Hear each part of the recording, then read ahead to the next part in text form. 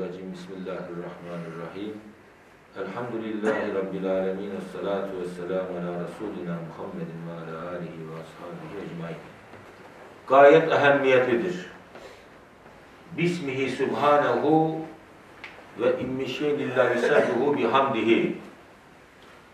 Şiddetli şefkat ve rikkatten.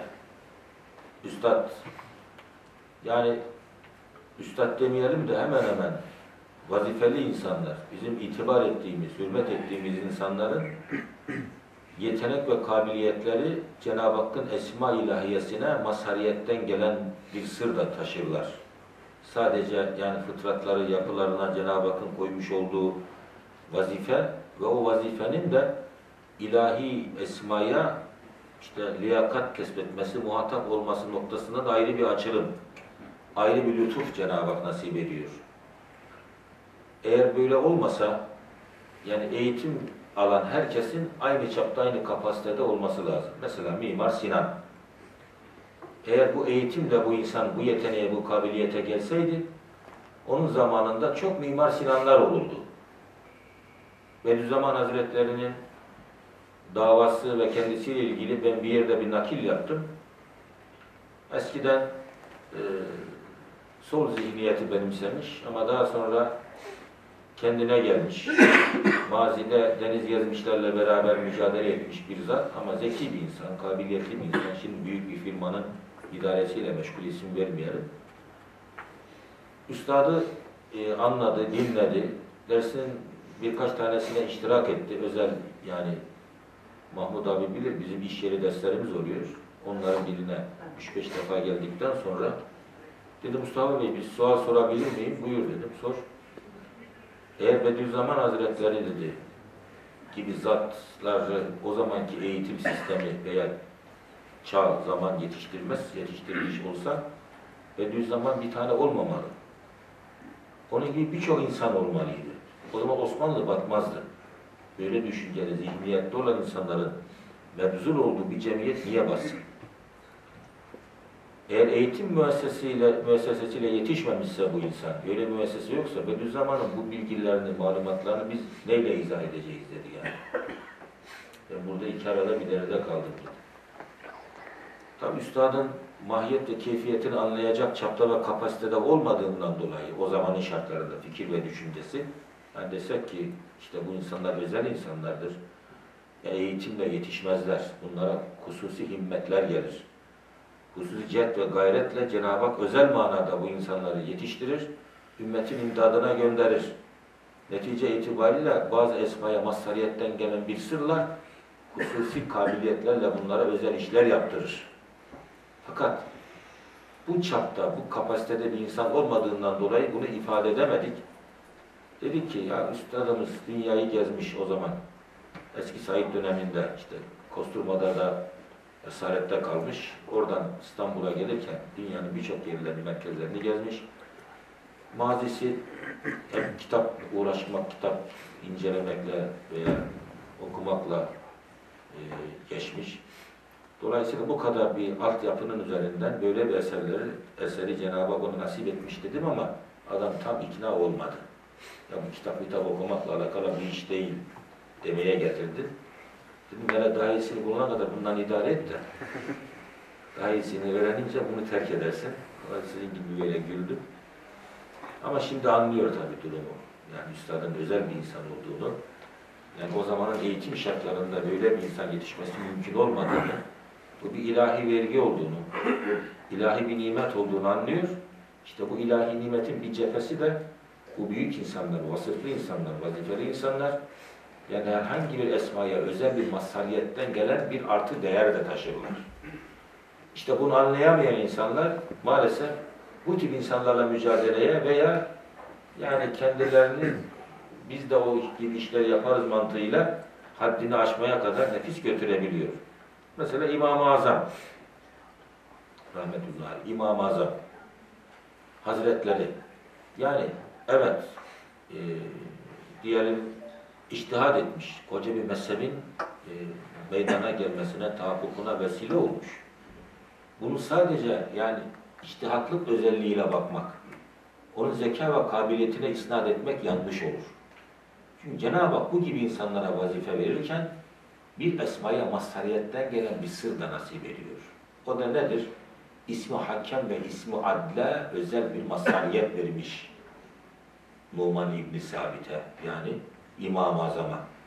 Cenab-ı Hakk'ın bu iki esmasına özel mazhariyet, Hakem ve Adil ismine mazhariyetten gelen bu yetenek ve kabiliyetle Kur'an'a baktığında bu muazeneli, dengeli, ölçülü kayda ve kuralları, fıkhın bu gibi özelliklerini Kur'an'dan çıkartma sadece eğitimle, zeka ile alakalı değil, işte bu iki esmaya özel bir mazhariyetten gelen sırla o payını o Kur'an'dan alıyor. Bunu anlayamayanlar, biz de okursak, biz de öğrenirsek, iştahat ederiz mantığıyla İmam-ı Azam'la kulaç atmaya kalkıyor. O sır olmazsa bunlar tahakkuk etmez. Yavuz Sultan Selim Han mesela. Yıl Osmanlı padişahları var. Peki bu özel durumda, hususi manada bu Şia tehlikesini istedip, ümmeti bu tehlikeden kurtarma adına babasına ihtilal yapıp, kardeşlerini tahttan indirerek bu davayı değil mi bayraklaştıran, ehl sünnet ve cemaatin akidesini yerleştiren bir özellik var. Bir tabzik var. İşte bir esmaya mazhariyetten gelen bir sır var. İşte bu sebepten dolayı da siyasette deha insanlardır bunlar. Siyasette Mehdi'dir yani. Osman Bey gibi. Osman Han gibi. Bediüzzaman Hazretleri de vazifeli olmalı olması hasebiyle onun Allah'ın ona vermiş olduğu zeka, kabiliyet, tetebbuat, yetenek, marifet ayrı. Bir de ismi Rahim ve ismi Hakime mazhariyetten gelen bir sır var. İsmi Rahim'e mazhariyetten gelen sırla şefkat koordinatlarını açmış. Bütün insanlığın düştüğü dalalet buhranından kurtarma adına kendini yıpratmış, perişan etmiş. Hatta Pasinler'de, dağ ve derelerinde işaretül icazı işte o zaman yazarken Üstad Hazretleri Cihan Harbi esnasında bir ağanın evinde misafir oluyor. Ağa üstadımıza akşam yemek ikram ediyor.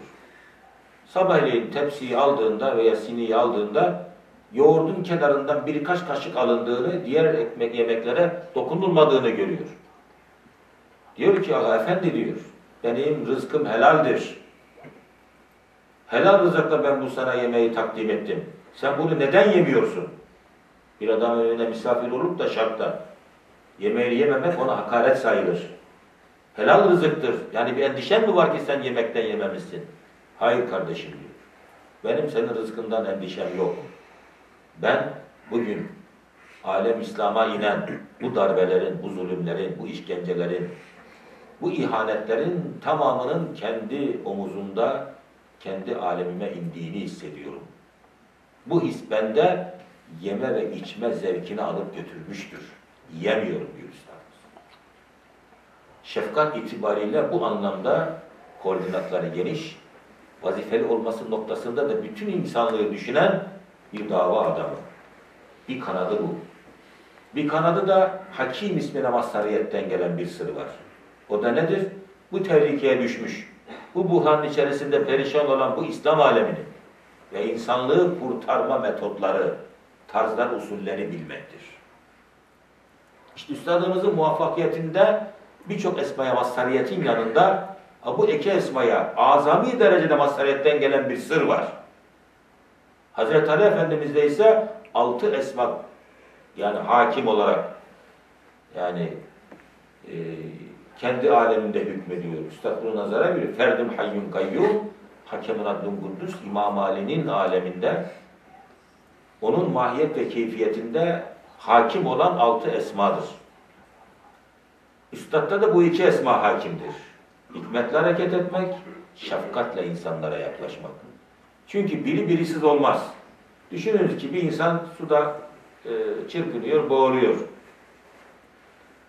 Bizde o çocuğu kurtaracak yetenek ve kabiliyet var. Mükemmel bir gavvasız ama bizde merhamet yok Allah korusun. Ne olur? Çocuk gözümüz önünde batar gider. Teknik var, bilgi var, malumat var. İyi denizde yüzüyoruz gavvasız ama şefkat yok. O bizde mahkum kalır, o çocuk batar. Tersinden alalım.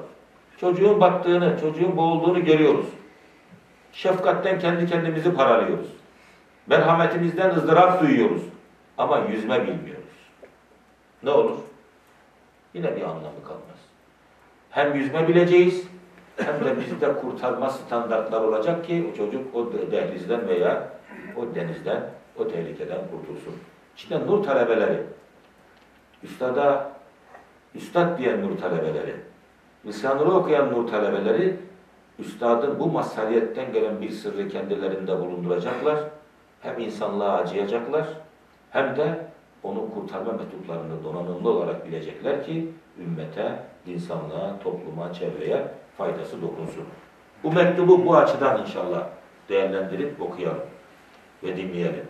Çünkü Üstad başta şiddeti şefkat ve rikkatten dedi. İşte bu neye bakıyor? Şefkat ve rikkat ismi Rahime, ismi Vedud'a mazhariyetten gelen bir sırdır. İsmi Rahim diyelim. Cenab-ı Hakk'a, Cenab-ı Hak da aleme ve mahlukata şefkatle, merhametle yaklaşıyor. Hikmetle de onları ne yapıyor? Sevk idare ediyor. Şiddeti şefkat ve rikkatten ve bu kışın şiddetli soğuğuyla beraber demek ki o cihan harbi esnasında kış mevsimi de hakim. Hatta Almanların ne yapmış? Değil mi? Suları donmuş. Tankları çalışmamış. Evet. Şiddetli soğuğuyla beraber manevi ve şiddetli bir soğuk.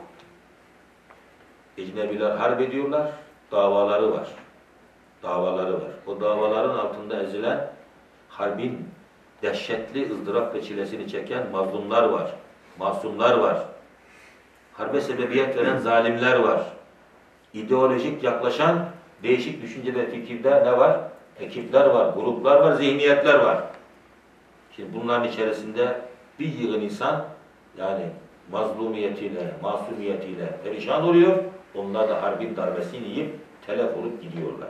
Üstad bu manzaraya kader canibinden, fıkıh canibinden, şefkat ve merhamet canibinden, hikmet canibinden bakmış. Cenab-ı Hak Üstad'a bunu ilham etmiş. Şiddetli soğuk ve musibeti beşeriyeden bir çarelere gelen felaketler, helaketler, sefaletler, açlıklar şiddetle dikkatime dokundu. Asrın vekili ya, asrın davasının adamı ya, asırla ilgileniyor. Birden ihtar edildi ki, şimdi ihtar edildiği de takılıyorlar. Kim ihtar ediyor? Ne demek bu yani birden ihtar edildi? Bunun dayanağı nere? Evet Risale-i Nur diyorsunuz ama değil mi? Risale-i Nur neye dayanıyor? Delil ve bürhanı nedir? Mesela. Senet ne? Bürhan ne?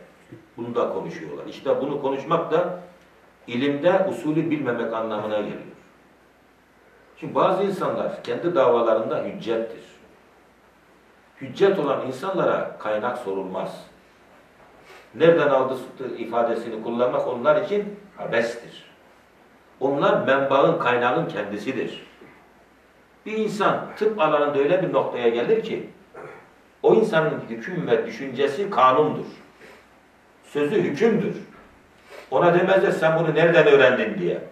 Kardeşim ben bu kaydeyi koydum böyle olacaktır. O kaydı o şekilde yerleşir. Bazı mucitler vardır. Mülhem keşraflar vardır. Fizikte, kimyada kanun koyan insanlar vardır. Allah onların yetenek ve kabiliyetlerine, çalışmalarına ve mesailerine göre bir şey nasip eder. Allah onu ona nasip eder, o kanun olarak fiziğe, kimyaya girer. Newton kanunları var mı? Lavoisier kanunları var mı? Diyebilir Newton'a sen bunu nereden aldın diye. Kaynağın ne? Kaynağı benim kardeşim diyecek. Niye? O alandaki çabam ve gayretime bir Allah bana öyle bir şey nasip etmiş ki bunlar araştırılarak bulunmaz. Sinan, emsallerine göre mukayese edildiğinde mimarlıkta nereye gitmiş biliyorsunuz. Bu zamanın mimarları bile onun sanatı karşısında şapka çıkarıyorlar. Boyun büküyorlar. Şimdi Mimar Sinan mimarlıkla alakalı bir kayda söylese, biri sen bunu nereden aldın? Kaynağın ne? Ona kaynak sormak abeste abeste iştigaldir. Kaynağın kendisidir. İmam-ı Gazali Hüccetül İslam'dır. Gazali bir şeyi nakletti mi? Bunun kaynağı sorulmaz. Niye? Hüccetül İslam. Hüccet adam. Kaynağı benim diyecek. Benim gibi insanlara kaynak sorabilirsiniz. Bir şey nakladın nereden aldın? Neye binaen konuşuyorsun? Olur. Biz nakliyatçıyız çünkü. Naklederiz. Bazı işin erbabı vardır ki onlar bizzat menba ve kaynaktır. Onlara usul dairesinde kaynak sormak abesle iştigaldir. Coğrafyanın hücceti vardır, tarihin hücceti vardır. Şimdi Farabi'ye siz kaynak mı soracaksınız? İbn Sina'ya kaynak sorulur mu arkadaşlar? Felsefede, tıpta. He? Tıbbın babası bak baba. Evlada kaynak sor kimin oğlusun diye. Babaya kaynak sorulmaz ki yani. Bunları bilmiyor insanlarımız. Onun için Bediüzzaman Hazretleri iman meselesinde hüccettir. Hüccettir. İmanda hüccettir. Üstadımızın naklettiği mevzuları eğer kaynak sorarsak o zaman o kaynağı okumamız lazım. Risale-i niye okuyoruz ki? Bu ona dayanıp onunla ayakta duruyorsa değil mi? Ha, Bediüzzaman'ın mahiyetine ve keyfiyetine bu açıdan bakarsak bu gibi suallere şey yapamayız yani. Boşuna mesai sarf edip de yorulmayız. Bunu böyle kısaca anlatmış olayım. Çünkü buraya bazıları takılıyor. Birden ihtar edilen kalbe ehemmiyetli bir mesele. Geliyor bunlar gündeme. Televizyona çıkıp konuşuyorlar. Ne demek yani bu? Nereden geliyor kendine? Kendisiyle Bediüzzaman'ı kıyaslıyor. Ona bir şey gelmiyor. İhtar yok. Sünuhat yok. Öyle. Hatırlatma yok. E sen kendinle Bediüzzaman'ı mukayese edersen elbette yani. Çapın ne? O adamın çapı. Ne? Bir hatayı da burada yapıyorlar. Birden ihtar edildi ki musib böyle musibetlerde yani arzi ve semavi fark etmez. Harp de bir musibettir, beladır. Şimdi Suriye'nin başında ne var? Bir bela var. Bir bela var. Eskiden Cenab-ı Hak kavimleri terbiye etmek için toprak unsurunu kullanırmış. Suyu kullanırmış, sesi kullanırmış. Rüzgarı kullanıyor, telef ediyor. Suriye'de de bunu kullanıyor canım. İnsanlar zalimdir, kader adildir. Allah zulmetmez. Bu Suriyelilerin başına bu adam musallat olmuşsa, Allah da buna müsaade ediyorsa kader canibinden bakalım olaylar. Bunları acıyalım. Gereğini yapalım. Anlatabildim mi? Şefkatle yaklaşalım. Fakat niye hak ettiniz bunları? Kader nasıl fetva verdirdiniz ki? Allah bu zalimle sizi terbiye ediyor. Bunu da düşünelim. Eğer bunu düşünmezsek bir tarafı yarım kalır. Çünkü haşa Allah'ın zulme müsaade ettiğini kabul ederiz.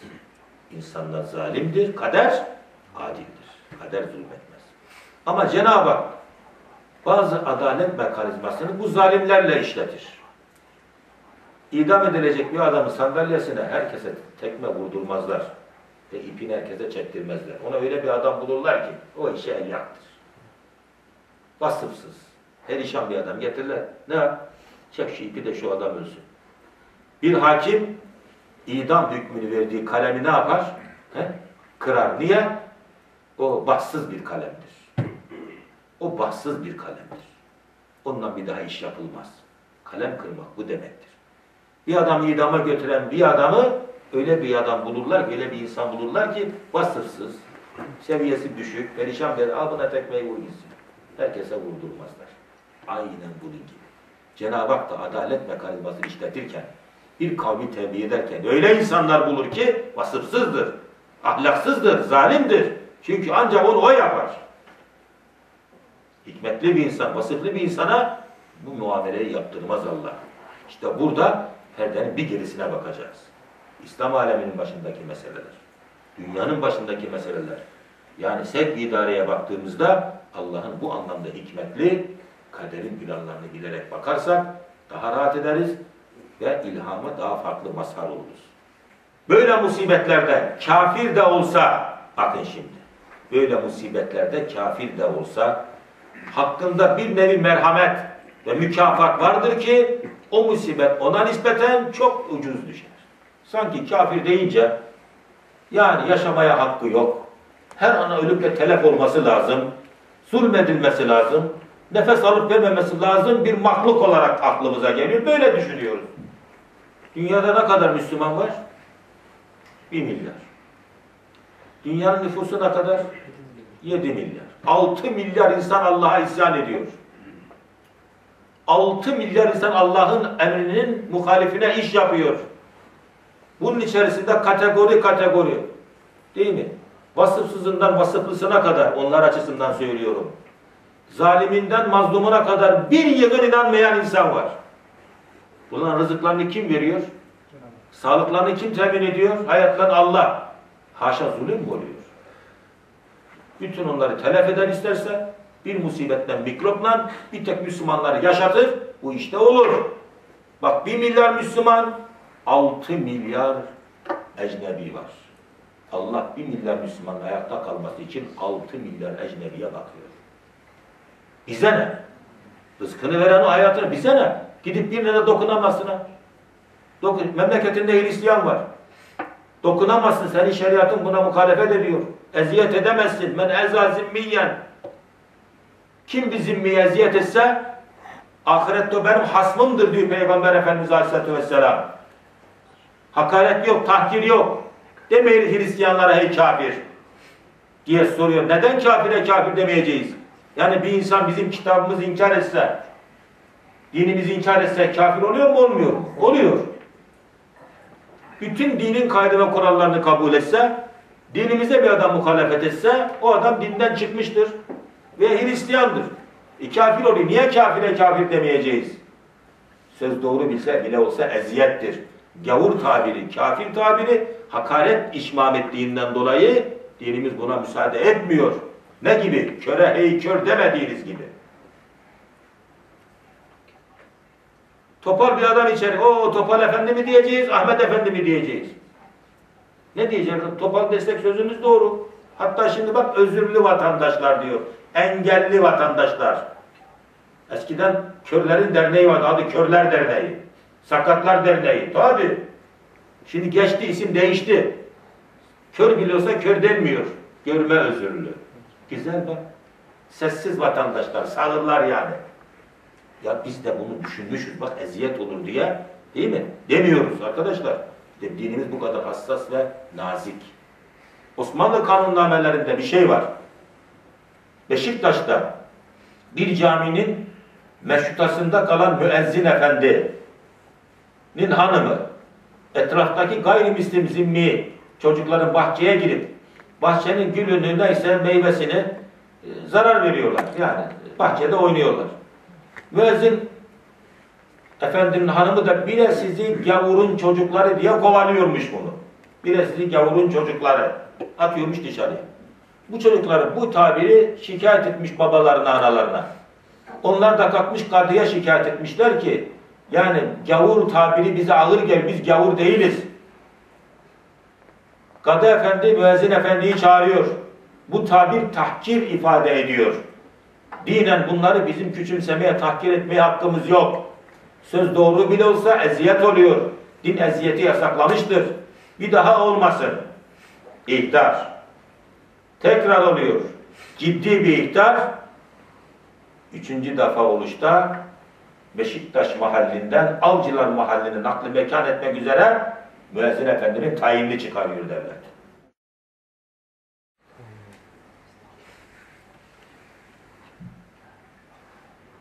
Evet. Böyle musibetlerde kafir de olsa hakkında bir nevi merhamet ve mükafat vardır ki şimdi kafirler altı milyar kafir yaşıyor. Allah merhametinden yaşamıyor bunlar.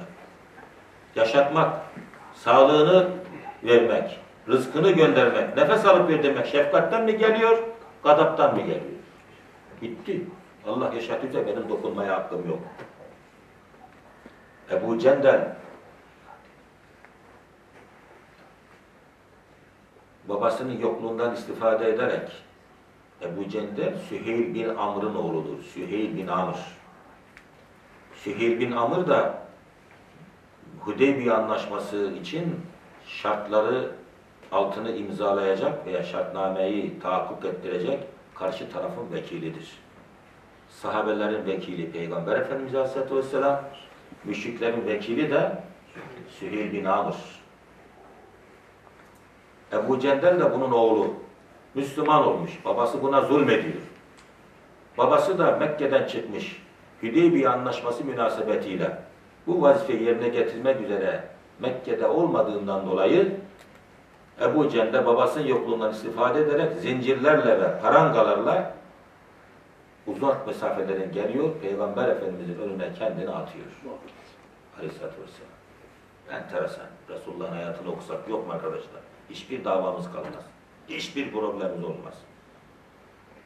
Şimdi Peygamber Efendimiz Aleyhisselatü Vesselam Hüdeybiye. Peygamber Efendimiz Aleyhisselatü Vesselam bekliyor çadırında. Diyor ki sahabeye bakın bakalım bizle anlaşmaya kimi gönderiyorlar? Karşıdan kim geliyor benden anlaşmaya? Şimdi Ebu Cehil'in gelmesi başka. Değil mi? Süheyb'in Amr'in gelmesi başka. Hayır hayır müşrikler ama müşrikler arasında da kategori farkları var. Biri uyumlu, öbürü hain ve zalim. Mizaç meselesi bu. Bir adam yaklaşıyor. Ya Resulallah biri geliyor. Bakın kim geliyor? Süheyl. Ha işimiz kolay inşallah. Süheyl suhuletten geliyor. Ondan anlaşırız inşallah. Gelsin diyor. Bak bak bak. İsminden bile adamın vasfını ortaya çıkarıyor. Allah onu çekip, onu seçtirip göndermesinde bir hikmet var. Bütün oralara kader canibinden bakıyor. Bir plan canibinden bakıyor. O kadar insan dururken bunun seçilmesi Peygamber Efendimiz rahatlatıyor aleyhissalatü vesselam. Konumuz bu değil. Fakat burada da bir mesaj var. Onu anlatmak istiyorum yani. Dünyayı idare eden güçlerin ya dünya idare eden insanların mizaçları tabiatları bizim ya lehimize olur ya aleyhimize olur. Amerika idare eden cumhuriyetçiler ayrı düşüncede, demokratlar ayrı düşün. Bak demokratlar başa gelince İslam alemi biraz rahatlıyor. Cumhuriyetçiler geçti mi daha farklı. Onlar şahit. Bunlar güvercin grubu gibi. Hep bunlar önemli. Gavur ama nasıl bir gavur? Ecnebi ama nasıl bir ecnebi? Ya bunlar arasında fark vardır yani. Müminler arasında fark oluyor. Mümin. Ama müminin dereceleri var. Değil mi? En vasıfsız insandan sahabeye kadar nasıl mertebeler varsa bunun tersi ehli dalalette de mevcuttur. Ebu Cendel kendini atıyor Peygamber Efendimizin önüne. Ya Resulullah ben geldim Müslümanım. Benim beyatımı kabul et. Beni verme bunlara. Fakat anlaşmanın şartları üzerinde mutabakata varılmış. Fakat henüz daha mühürler basılmamış. Bak bu çok enteresan bir vakat. imzalar atılmamış. Anlaşmanın birinci maddesi. Bizden onlara bir iltihak olursa onlar vermeyecek. Onlardan bize bir iltihak olursa biz onlara teslim edeceğiz. Anlaşmanın çoğu zaten aleyhimize. Fakat beraber girme çıkma barış ortamı hazırladığından dolayı aleyhimize olan şartları Peygamber Efendimiz Aleyhisselam kabul ediyor. Yeter ki barış olsun. Sulh seyyidül ahkamdır. Aynı olay. Kürtlerle bizim barışmamız İslam aleminin kapısının açılması demektir. Bütün kıyametler barış olmama adına koparılıyor. Bütün fırtınalar bu amacı gerçekleştirme adına. Yeter ki barış olmasın. 30 yıldır dağlarda harp var. 31 insan ölmüş. Türkiye bölünmemiş de barışla mı Türkiye bölünecek? Harbin bölemediği bir ülkeyi barış böler mi? Buraya zorladık milleti. Tamamen dinin, Allah'ın muradının tersine işte insanlar ittifak etmeye çalışıyoruz.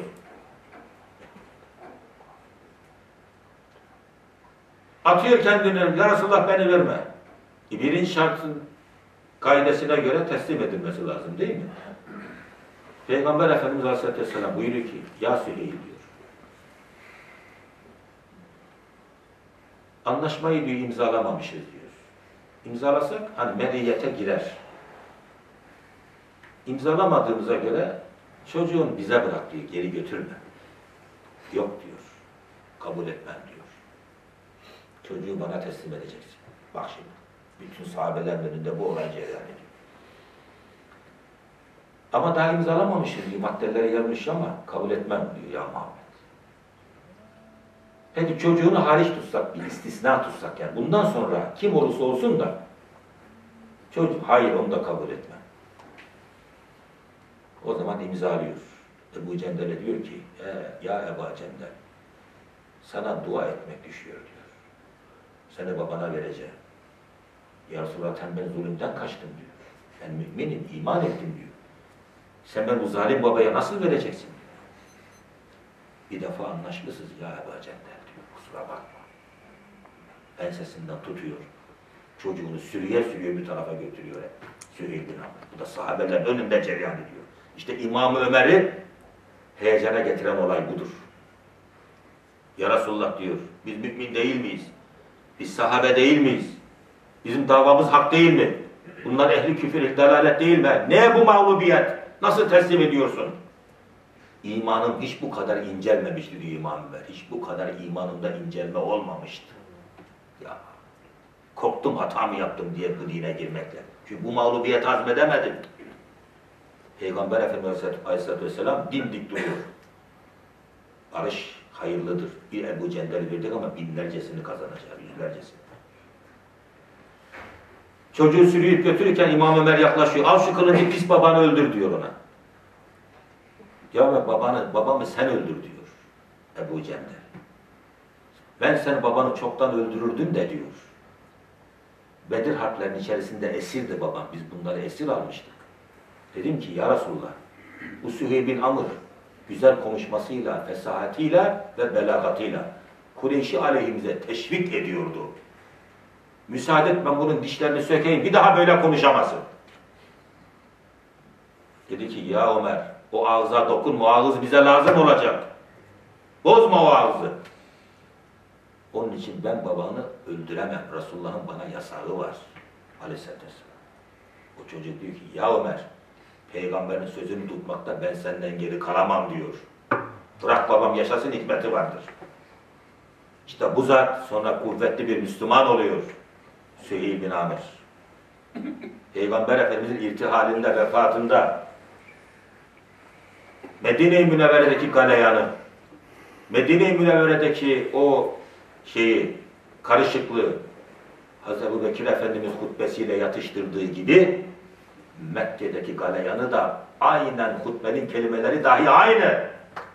Sühil bin Amr ilhamla Mekke'deki insanları huzura, temkine sevk ediyor. Hutbe okuyor. O ağız orada işe yarıyor. Olaylara böyle baktık mı taşlar yerine oturur. Ama mevzi baktık mı, kenardan baktık mı hata yaparız arkadaşlar. Bütün meseleye bir bütün olarak bakacağız. Şimdi bu mektuba da bu açıdan bakalım. Adam bir satırını okumuş, altına üstüne bakmadan bir zaman sonra Hristiyanları cennete dolduruyor diye itiraz ediyor. Bir oku ya altın üstünü ne oluyor? Koca bir mektup. İzahları var bunların. Bir fil getirmişler. Bugün anlattım bir vesileyle. Doktorum oradaydı. Köylülerin ortasına bir fil koymuştu ama köylüler fili bilmiyor. Ama köylülerin gözleri bağlı. Fil diyen mahluku bilmiyorlar. Getirmişler, fili koymuşlar. Demiş köylülere ki hele file bir dokunun bakayım. Gözleri bağlı olduğu için el yordamıyla hayvanı tanıyacaklar affedersiniz. Herkes bir tarafına dokunmuş, fili götürmüş, saklamışlar, köylülerin gözünü açmışlar. Sen, fil nedir? Valla fil kalın bir sütuna benzer mahluktur diyor. Niye adam filin? Bacağına dokunmuş. O kadar. Sen geç, öbürü, sana göre fil lahana yaprağına, kulağına dokunmuş. Filde kulak var ama lahana yaprağı fil değil ki mübarek. Ama bir tarafını tutmuş. Her tarafı ihat edemiyor ya. Öbürü ucu püsküllü kısa bir şey kuyruğuna dokunmuş. Biri de içi delik kortum, filin içi kortumuna dokunmuş. Şimdi bir böyle fili tarif etmek var, bir de fili gören adamın bunların tarifine bakıp taşı yerine oturtması var. Üstad kader canibinden olaylara baktığından dolayı, bir program canibinden baktığından dolayı bizim aleyhimizde olan meseleler lehimize kabul etmiş. Niye? Bir plan var. Allah muradını tahakkuk ettiriyor. Allah dini bir İslam'ı galip yapacak. Allah nurunu tamamlayacak. Bu taahhüt var. Olaylara böyle bütün baktık mı? Aleyhimize olan da dolayısıyla lehimize olacaktır merak etmeyin. Ama mevzi olarak bakarsak bir kitaba ortadan bir cümleyle baksak ne kadar makul olur? Üç günlük bir filme değil mi? Ortadan girip bir saat seyreden bir adam film hakkında kanaat ishar etse ne kadar sağlıklı kanaat ishar eder? Risale-i Nur geniş olarak genel manada, umumi manada olayları nazara verdiğinden dolayı Risale-i Nur caniminde meseleye bakan bir adam azze düşmez, hilaf-ı vaki konuşmaz inşallah. Yeter ki üstada sadakat gösterelim, o açıdan bakalım. Evet. Demek ki böyle musibette de kafir de olsa hakkında bir nevi merhametle mükafat vardır ki o musibet ona nispeten çok ucuz düşer. Böyle musibeti beşeriye, böyle musibeti semaviye, masumlar hakkında bir nevi şehadet hükmüne geçiyor. Bak masumlar hakkında diyor. İnanmasa da. Gayrimüslimin çocuğu, ecnebinin çocuğu. İkinci Cihan Harbi münasebetiyle bir bombanın altında kalmış, telef olmuş, parça parça olmuş. Kundak'taki çocuklar, 15 yaşından aşağı vuran masumlar ve mazlumlar. E bunlar için şehadet makamı var. Gelecek üstad. Tasdik edecek, buraya fazla girmeyelim. 3-4 aydır ki dünyanın vazi vaziyetinden ve harbinden hiç haberim yokken Avrupa'da, Rusya'daki çoluk çocuğu acıyarak tahattür ettim. Avrupa ile Ruslarla bir harp vaki oldu. O manevi ihtarın beyan ettiği taksimat bu elim şefkate bir merhem oldu şöyle ki. Merak ediyor Üstad. Rusya'daki çoluk çocuğun ne suçu var? Kadınların ne suçu var? İhtiyarların ne suçu var? Tüccarın ne suçu var? İki tane, üç tane zalim masanın başında oturmuş, dünya birbirine katmış menfaatleri için. Cepheye giden askerin ne suçu var? Sekiz sene İran Irak'la harp etti. Şimdi bir Iraklı asker cepheye gitmese hain olur, bu taraftan vurulur. E gitse o taraftan ne yapsın bu adam? Aynı şeyi İran için düşünün. Aynı şeyi ecnebiler için düşünün. Adamların amaç ve gayesi ülkesini kurtarmak adına cepheye gidiyor. Gerideki yani zalimlerin planlarından haberi yok. Üstad bu sebepten dolayı buyuruyor ki bu gibi durumlarda musibetlerde mükafat ister. Musibete düçar olan bir adam mükafat ister. Ya bu mükafatı o zalimler yok mu? Onların hasenatı karşılayacak. Musibete maruz kalan insanların değil mükafatını kim verecek? Onların başlarındaki zalimli hasenatı, sevapları onlara taksim olacak. O ise hiç hükmünde hiç yok. O zaman bunların mükafatını hazine-i gayb yani Allah verecektir. Allah hazine-i gayb ise bu musibete maruz kalıp telef olmanın mükafatını mertebe-i şehadet ve gazilik olarak veriyor diyor üstadımız. Günahkar insanların sevaplar nasıl taksim olacak bunlara? Allah bunları cephede talep ediyor, ettiriyor. O zaman kader o ağır imtihana maruz bırakmışsa şefkatle ne yapıyor? Bunlara yaklaşıyor.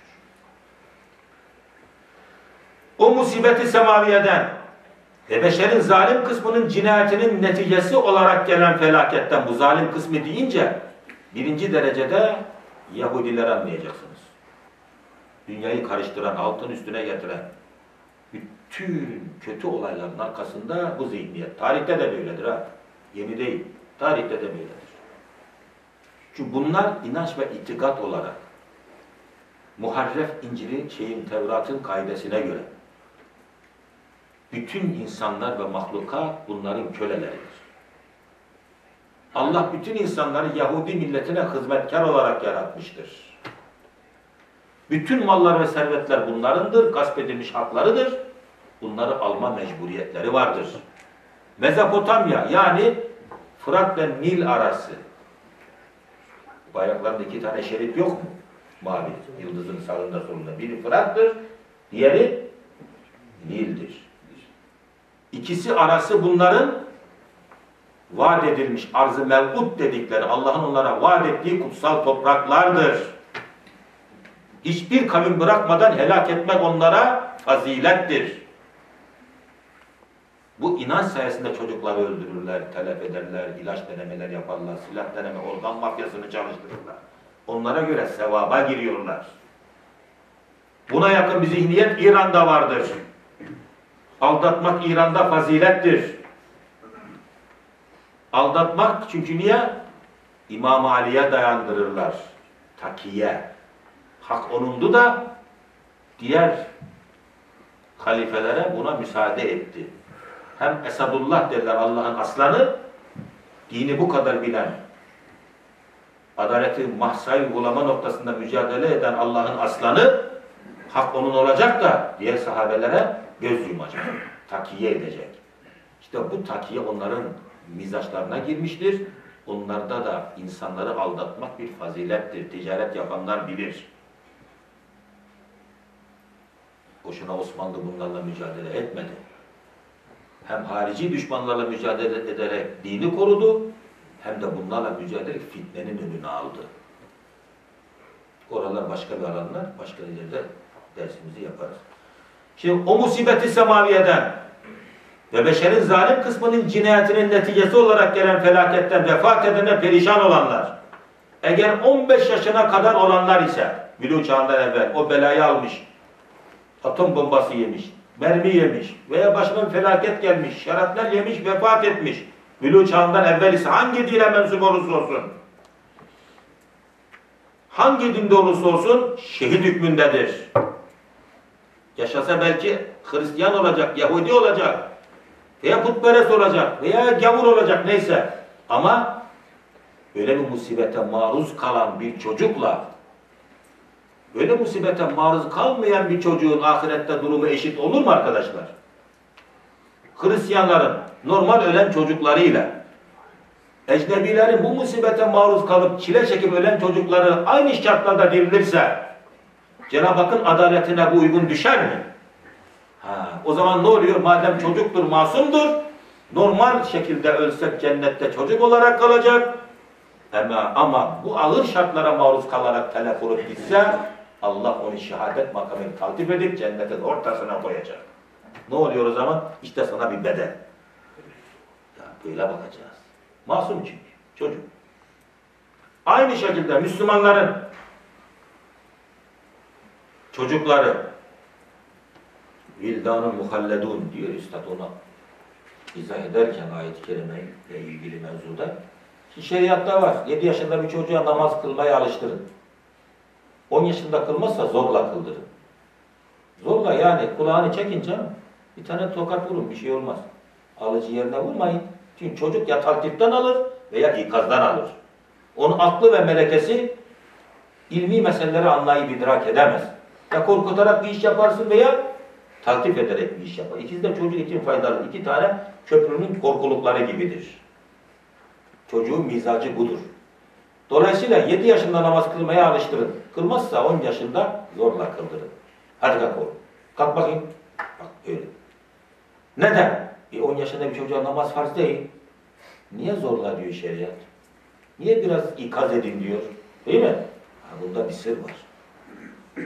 Müslümanların ibadetli olmayan, namaz kılmayan, İslam'ın şartını yerine getirmeyen çocukları çocuk olarak ölürse ecnebilerin çocukları gibi cennette çocuk olarak kalacaklar. Müslümanların büyükler gibi ibadetli olan çocukları, oruç tutan namaz kılan çocukları çocuk yaşta ölse cennette 33 yaşında olacak. İki tokat daha vur korkma. 33 yaşında gitsin cennet. Çocuk olarak gitse ne yapacak? Balonlarla uğraşacak. Bırak sarayda yaşasın. Şeriatın böyle güzel şeyleri var, kaydı kuralları var arkadaşlar. Allah'ın işine karışmıyor. Allah'tan fazla şefkatli merhamet bulunmaz ki haşa. Keserler mi diyor Cenab-ı Hak hırsızlık yapanı. Kes şartlar yerine geldikten sonra. Ve böyle ağır iş kayda boşu. Kesmezsen hapishanelere doldurursun. Bir şeye yarar. Adam girer. ikinci hırsızlığın planlamasını orada yapar. Evet, Müslümanlar gibi büyük mükafat-ı maneviyeleri o musibeti içerdirir. Bak görüyor musunuz? Gayrimüslimlerin çocukları o ağır afetten telef olup gitse, Müslümanların bu anlamdaki mertebeleri gibi şehadet makamıyla cennete gidecekler. Bu da bir kategori. Şimdi arkadaşlar, cennete imanla girilir. Bunda tereddüt yok. Cehenneme küfürle girilir. İmanla küfür fikri bir meseledir. Fikri bir meseledir. Mekan tayinine sebebiyet verir. Fikir mekanı tayin eder. Amel mekandaki dereceleri tayin eder. Cennete girmek imanladır. İman fikri bir meseledir değil mi? Düşüncedir. Ama cennetin neresine gireceğim? Bunu tayin eden ameldir. Cennetin mertebeleri vardır. Sahabeler cennete gidecek. Bir normal Müslüman, avam Müslüman da cennete gidecek. İmanından dolayı. Ama sahabeler bunlar fark nereden belli olacak? Amel farklıdır. Amel farklı oradaki mertebeleri ortaya koyar. Cehenneme küfürle gidilir. Kafir cehenneme gidecektir. Ama cehennemde de mertebeler ve dereceler var. Kafirlerde mertebe derece olduğu gibi. Kafirlerin amellerindeki tehlikeler de onların cehennemdeki ateşinin derecesini, makamını tayin edecektir. Ameller mekan tayinle değil, mertebe tayinle sebebiyet verir. Bir adam hayatı boyunca ibadetle meşgul olsa, hayatı boyunca faziletli hal gösterse ama imanı olmasa Allah korusun. Nifak içinde yaşasa bu adam nereye gider? Cehenneme bitti. Amel zerre kadar onu yapamaz, faydası olamaz. Bak aynen bunun gibi. Bir adam da düşünün ki, yani ameli yok. İsyan içinde, günahkar ama imanı var. Neticede cehennemde yanar, cennete yine gider. Anlaşıldı değil mi bura? Çünkü müminlerde derece farklılığı olduğu gibi ecnebilerde de derece derece farklılıklar vardır. Şimdi Newton da ecnebi veya diyelim Edison da gayrimüslim. E şimdi ülkeyi birbirine katan bazı zalimler var. Ecne, onlar da gayrimüslim. İkisi aynı kategoride cehennemde yanar. Öbürü ce- cehennemin senin yerine gider. Öbürü daha şiddetli bir yere gider. Adalet böyle gerçekleşir. Mu'te Harbi'nde. Mu'te Harbi'nde Peygamber Efendimiz Aleyhisselatü Vesselam ordu komutanlarının vazifelerini tayin etmiş, göndermiş. Biliyorsunuz değil mi? Sırayla hepsi şehit olunca en son diyelim en sondan biri Abdullah bin Revaha Hazretleri. Bir de parmağına kılınç değmiş, kopmuş eti, etinde derisinde kalmış onun acısıyla o da ölecek çünkü Peygamber Efendimiz Aleyhisselatü Vesselam önce sancağı Zeyd bin Haris'e alacak. O şehit olursa Cafer bin Ebi Talib alacak. O da şehit olursa Abdullah bin Revaha alacak. O da şehit olursa aranızdan birini siz seçin. Üçünün gideceği belli. Göz göre göre bunlar şehadete gidiyorlar. İkisi gidince sıra Abdullah bin Revaha'ya geliyor. Bir doğa yarası var. Sengin bir sahabi. Ağı, bahçesi, hanımları, köleleri, cariyeleri gözünün önüne gelince bir an tereddüt. Peygamber Efendimiz o anda da Aleyhisselam naklen harbi anlatıyor. Cihadı anlatıyor. Sıra Abdullah bin Revaha'ya geldi diyor. Bekliyor. Ya Resulullah ne oldu? Bekliyor. Neticede nefsini ikna etti. Sancağı aldı. O da şehit oldu. O bekleme onun tereddüdünü bekliyor. Sonra bana onlardan, onların ahirette yerleri gösterildi. Allah hepsine bir köşk yapmıştı. Abdullah bin Revaha'nın köşkü onlara göre esik. Biraz da eyvanı eğriceydi. Balkonunu eğri yapmış Allah. Niye? Cennete itirazlı girdiğini. Bir tereddüt bile planlamayı değiştiriyor arkadaşlar. Fark var. Bir kafirlerde fark olmayacak mı ya? Yani bir Süfyan'ın veya bir Deccal'ın farkıyla normal bir kafirin farkı olmayacak mı? Cehennemin aynı yerinde mi yanacaklar? Kafirin de mazlumu var. Kafirin de zalimi var. Evet.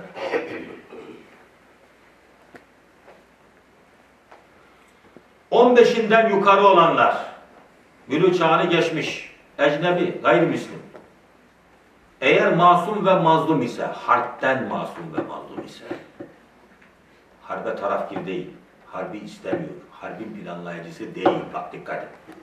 Hiçbir alaveresi yok harple ama bir bela gelmiş onu da götürmüş. Ticaretle meşgul, sanatla meşgul adam.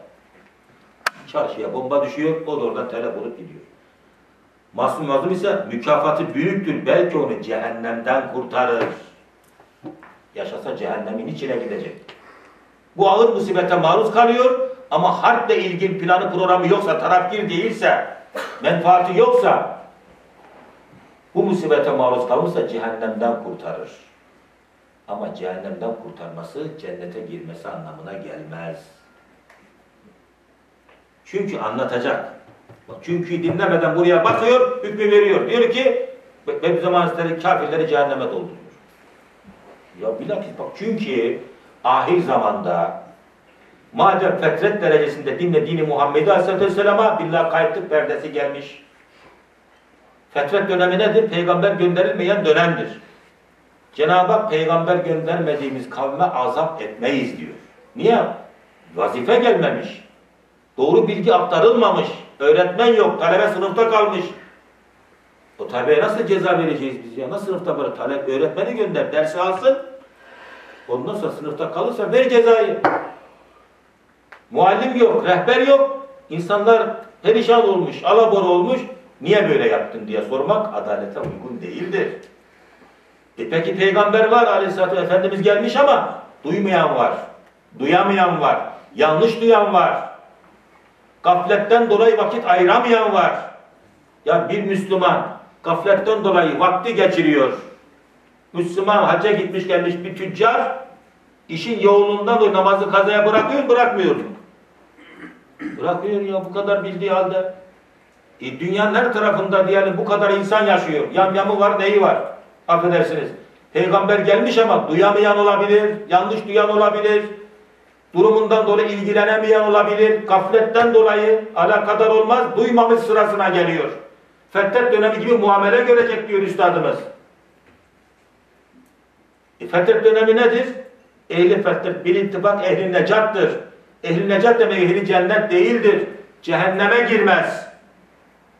Allah'ın ahirette öyle yerleri var ki cennete imanla girilir.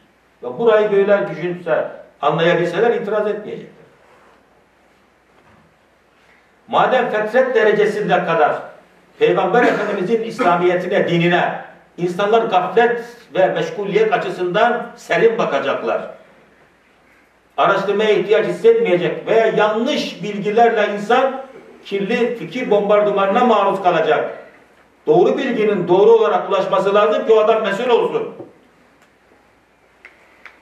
Bu anlamda baktığımızda Cenab-ı Hak rahmetiyle muamele ediyor. Böyle bir musibete bu tip insanlar maruz kalsa belki cehennemden kurtulur. Cennete girer gibi değil.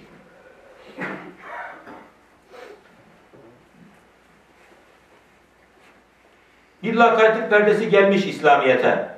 Madem ahir zamanda Hz. İsa Aleyhisselam din hakikisi hükmedecek, İslamiyet'le omuz omuza gelecek. Bir de bu var. Adam Hristiyan ama iç alemi Müslüman olabilir. Hakiki İseviliğe alıp iman eden bir adam Peygamberimize iman edecek mi etmeyecek mi? Edecek. Biz Müslümanlar İsa Aleyhisselam'a iman etmiyor muyuz? Tevrat'a iman etmiyor muyuz arkadaşlar? Zebur'a niye? Var kitabımızda. İman etmesek küfre gireriz Allah korusun. Aynen bunun gibi onlar da hakiki İncil'e, hakiki İsa'ya inansalar onu da Peygamber Efendimiz'e itibar edecekler. Muamelat ise kategori farkına sebebiyet verir. Fikren buna itibar etti mi cennete girer. Etmiyor. Bu musibete maruz kalmış cehennemden çıkar. Nereye gider Allah bilir. Biz ona karışmayalım. Azap cezadır. Ceza hak etmedir. Adam bilmiyorsa, etmiyorsa, yanlış duymuşsa nasıl hak edecek? Kader buna nasıl ceza verecek? Elbette şimdi fetret gibi karanlıkta kalan, peygamber gönderilmiş, gönderilmemiş bir kavim gibi karanlıkta kalan, Hz. İsa'ya aleyhisselam mensup Hristiyanların mazlumlarının çektikleri felaketler, onlar hakkında bir nevi şehadet denilebilir. Bak bir kategori daha ayırdı. Hakiki İseviliğe inanmış, hakiki İseviliğin perde altında gizli gizli herkes tarafından bilinmeyen doğru akidesiyle iman eden Hristiyanlar ki onlar Kur'an-ı Kerim'e Peygamberimize fikren iman ederler. Hakiki İsevilikse. Böyle bir musibete maruz kalmışlarsa onlara da şehadet makamı gidiyor. Buna kim itiraz edebilir ki? Amel şart değil. Çünkü amel adres tayinle değil, gidilecek yerdeki mertebe tayinini ortaya koyuyor. Şimdi geçen bir yerdeyiz. Hristiyanın kestiği yedir. Abi besmele çekmiyor diyor. Kardeş besmele çekmez Hristiyan. Sen ki Hristiyanın kestiği yenir diyor. Daha da besmele çekmiyor abi. E besmeleyi Müslüman çeker. Hristiyandan kız alınır, kız alınır. E Müslüman değil diyor. Kız veremezsin ama kız alabilirsin ya. Bazı alışkanlıklarımız var. Cenab-ı Hak hepimizi muhafız. Alışkanlıklar bizi perişan ediyor zaten. Kulaktan duyma bilgiler. Rahmet Osman Demirci hocam. Allah rahmet eylesin. Erzurum'da bir dernek kurduk diyor. Kur'an kursu derneği. Osman hocam sosyal bir insandı. Belediye başkanını ziyaret valiyi ziyaret eder. Böyle bir enteresan bir insan. 40. hocam o tamamen tersi. Kümbette oturur, kitap yazar, okur. Ya kalk der hocama. Gidelim valiye, gidelim emniyet müdürüne. Ya sen git hoca efendi, ben burada oturayım. Böyle arada bir şey var, tezat var. Güzel bir tezat. Baktım ki diyor, Kur'an kursu derneği dedi, kimse gelmiyor diyor. Gariban benim gibi zavallı 3-5 tane insana maruz kalıyor. mahsus kaldık. Fakir fukara ya tarif için. Al bak. Dedim topladım o derneğin mensuplarını. Arkadaşlar gene bu Kur'an kursu derneği adını değiştirelim. Ne koyalım hocam? İslami Araştırmalar Derneği diyelim de ya 3-5 tane zengin gelsin işimizi yapalım. Kur'an kursu deyince gariban karşıya kimse gelmiyor. Gelenler de fazla bir işe yaramıyor. Yani vali gelsin de belediye başkanı buraya ancak bu isimle çağır. Ama hocam Kur'an'ımızı değiştirme. La Kur'an değişmeyecek. Adını değiştir. İnandıramadım diyor. Dokun anladım. Kur'an'ımı değiştirme. Böyle. O İslam Araştırma Derneği değil de Kur'an değişecek. Hocam lütfen Kur'an'ımızı değiştirme. Oğlum Kur'an değişmeyecek. Anlatamadım diyor. İşte tarafkirlik böyle zararlı alışkanlık yani. Üstad da bakın yani Osmanlıca Risale-i yazdırmış. 600 bin nüsha. Osmanlıca el yazısı hepsi orijinal. Ne zaman Cenab-ı Hak Latin harflerle basmayı nasip etmiş? Üstadımız matbaaya bin kalemin ucu diyor. Kendi hayatında külliyatı Latince bastırmış. Buna itiraz edenler çıkmış biliyor musunuz? Üstadın ufkuna bak. Bunu medreseye koymayan hocalar çıkmış. Üstad onlara bakmayın. İstikbalin gençleri imanı bundan kurtaracak. Kendi hayatında bunu Latince bastırmış. Üstadın hayatında basılı elimizde kitaplar var. Mahmud amca da vardır. 57-58, Üstad 60'da vefat etti. Kendi eliyle bastırıyor. Latince. En yakınlar bir üstada itiraz ama üstad biz bu zamanın değil o zamanın nesillerini düşünüyoruz diye Bediüzzamanlığını böyle gösteriyor. Yani giden de gitmiyor. İstikbale böyle yatırım yapıyor.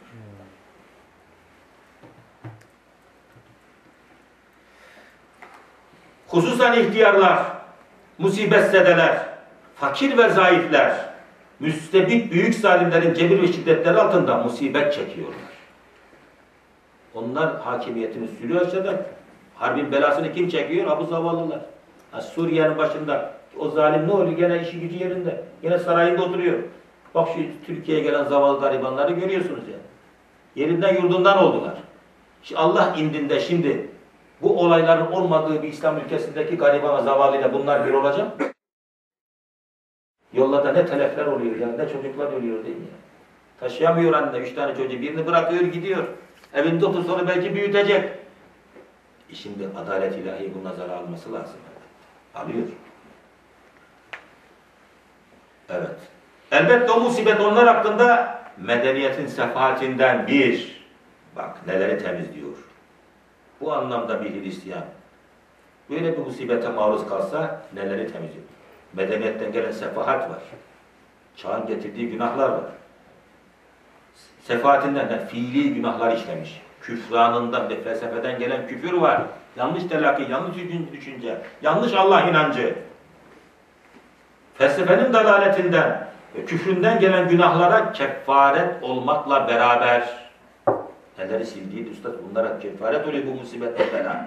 Demek ki bu ağır musibetler ve belaların kader canibinden hikmetleri var. Allah kulunu temizliyor. Cehennemde yakmayacak. Bu belayı dünyada yakıyor. Dünyanın ateşiyle cehennem ateşinin yanına koysan hangisini tercih eder? Evet. Beraber yüz derece onlara kardır diye hakikatten haber aldı. Hakikatten haber almaya da itiraz ediyorlar. Niye? Kalbi itiraz, itiraz edilen meseleyi mühimme gibi. Nasıl hakikatten haber alıyor? E tabi kendim açısından baktım bana bir şey gelmiyor. Gelse de bana hakikat gelmiyor. E kendisi üstadı haşa mukayese ederse bir adam ne olur abi? İşte makamını bilmek lazım ki bunlara itiraz gelmesin. Cenab-ı Erhamur Rahim'in hassiz şükrettin ve o elim, elem ve şefkatten teselli buldum. O elim, elem ve şefkatten kurtuldum diyor. Bu taksimat beni kader canibinden baktığımda rahatlattı. Üstad o geniş, umman gibi şefkatini rahatlatan bir tasnif bizi de ne yapabilir? Rahatlatabilir değil mi? O felaketi gören zalimler ise, bir de bunlar var. Olayın içinde olanlar, planlayanlar ve beşerin perişaniyetini ihsar eden gaddarlar ve kendi menfaati için insan alemine ateş veren hodgam alçak insi şeytanlar ise onlar için tam adalet ve adalet-i Rabbaniye ve müstehaktırlar. Onlar için de hak oluyor. Mükafatları yok. Belalarını buluyorlar. Ahirette de hesapları var onların. Bu tip insanlar için. Eğer o felaketi çekenler mazlumların imdadına koşanlar. Türkiye gitmiş Kızılay. Gıda dağıtıyor, ilaç dağıtıyor değil mi? Yaraları tedavi ediyor. Kızılaç. Fark etmez. Ne oluyor? Onlar bir harbe gitmiyor. Tarafgir değil. Acaba bu mazlumlardan ben nasıl kurtarabilirim, nasıl tedavi edebilirim, nasıl faydalı olabilirim düşünerek insanlık namına gidiyorlar. E, aynı belaya onlar da maruz kalıyor. Bir bomba gelip onların da çadırını yakıyor mesela. Bunlar da bir ayrılık, bunlar farklı muamele olmayacak. Şu IŞİD'in teröristinin kestiği Amerikalı yok mu? IŞİD'in başındaki adamın Yahudi olduğunu biliyorsunuz değil mi? İsrailli olduğunu. Ebu Bekir diye başka bir adamın kimliğini taşıdığını. O adam ölmüş, onun kimliğini buna vermişler. Bir de halifeymiş adam, bir de sünniymiş affedersiniz. Yahudi Mossad ajanı olduğunu bilesiniz arkadaşlar. Bu bir oyun. Bir taşla üç beş kuş vurmak için bunu yapıyorlar. IŞİD hilafet ilan ediyor. İşte yaptığı işler de ortada. Yani Türkiye İslam alemin ağabeyisi olursa, tekrar halifelik onda kalırsa, hilafet gelirse işte bunlar yapacak diye dünyaya kirli bir mesaj veriyorlar. İki, barışı engelleme adına Barzani'yi sıkıştırıyorlar. Adamın petrollerine doğru iniyorlar. Yani Türkiye ile masaya oturamazsın, barışamazsın diye ikinci mesaj ona gidiyor. Üç, Obama'ya mesaj. Rusya'ya değil, İngiltere'ye değil, Fransa'ya değil, Amerika'ya değil. Obama diyor. Yani Türkiye'nin arkasından çekil, sana böyle bedel ödetiriz demeye getiriyorlar. Bir de bu asker, o askerin öldürdüğü, yani boğazladığı o gazeteci, Amerikalı gazeteci, Yahudilerin ve İngilizlerin Orta Doğu'ya topladığı o ne kadar asker varsa eskiden beri iş yaptırdığı askerlerin yaptıkları zulümleri, işkenceleri, şenaatleri dünyaya resmeden, ilan eden, yayan vicdanlı askerler şeyden, gazetecilerden bir tanesi. Tabi onu da öldürmekle gayri mesaj veriyorlar. Bizim işimize karışamazsınız. Şimdi bu, bu adam, bu adam, bu adam nereye gidecek? Bunun akıbeti ne olacak? Yaptığı iş insanlığı uyandırma. Yahudilerin ve İngilizlerin 200 yıldan beri Orta Doğu'da yaptıklarını ve yapacaklarının ne olduğunu dünyaya görsel anlamda ilan edip bunların arkasında durmayın. Bunlar böyle zalimlerdi diyen bir adam, Hristiyan. Diğer sefahat hayatını yaşayıp giden Hristiyanla bu ahirette eşit mi olacak? Buna adalet, buna şefkat nasıl müsaade eder? Bu musibete maruz kalır, cehennem, cehennemde özel bir yere götürür, serin bir yerde yakar. Cehennemde, cehennem içinde özel cennetler var değil mi? Peygamber Efendimiz Aleyhisselam Miraç yolculuğunda cehennemi geziyor. Cehennem içinde yanmayan insanlar cehennem içinde yanmıyor. Kim bunlar? Ya bunun hakkında dua ettiğim onlardan bazıları işte. Adalet ile meşhur Nuşirevan, İran padişahı. Ateşperest ama adaletiyle meşhur. Peygamber Efendimiz'e sahiplik yapan amcası Ebu Talip. Ondan sonra bir de cömertliğiyle meşhur Hatemi Tayi. İnanmadıkları halde ama bu iyiliklerinden de cehennem içinde özel cennet. Kışta yaz mevsimi olduğu gibi. Bazen kış mevsim kıştır ama Allah bir güneşi açar, insanın gömlekle gezesi gelir. Kış mevsiminde kaloriferli dayıda bir adam ne yapabilir? Pijamayla oturur. Ama dışarıda bütün mahlukat üşür. Bu böyle ol cehennemde de özel yerler var. Yeri mi yok Cenab-ı Hakk'ın? Cennete gitmek şart mı? Yeter ki adalete inanalım. Allah herkese hak ettiğini verecektir. Peki eşit şartlarda yani imtihan olmadığı gibi eşit şartlarda cezaya ve mükafata da maruz kalmayacaktır. Bitiyor desiniz. Euro felaketi çekenler mazlumların imdadına koşanlar. Sırpların elinden Müslümanları kim alacaktı Amerika mücadele etmeseydi? Rusya Türkiye'yi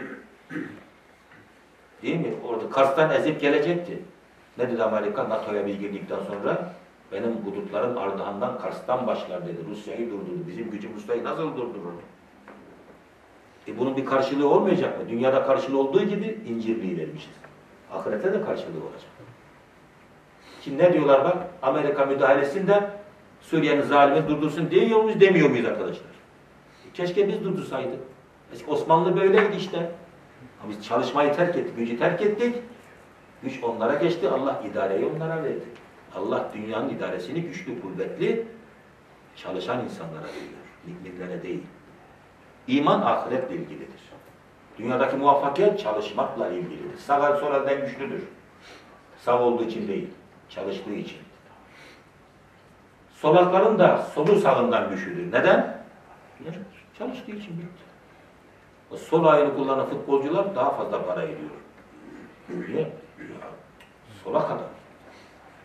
Onu kullanmak bir maharet değil mi arkadaşlar? Çalıştı mı insan Allah dinine, ideolojisine, ırkına bakmaz ona verir mükafatını dünyada. Eskiden Osmanlı çalışıyor, dünyanın idaresini bize verdi. Şimdi Amerikalılar çalışıyor, İngilizler önce sonra Amerikan onlara verdi. Bak imanla, İslamiyetle bu işin bir alakası yok. Eğer Allah namaz kılana imkan, servet, yani devlet verseydi namaz kılmak riyakarlık olurdu Allah korusun.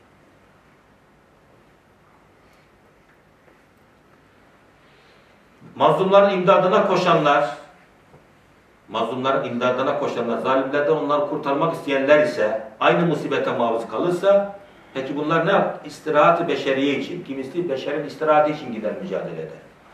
Kimisi esasatı diniyeyi. Niye? Din insanın vicdani bir hakkıdır. Kimse dine müdahale etmesin diye mücadele eder.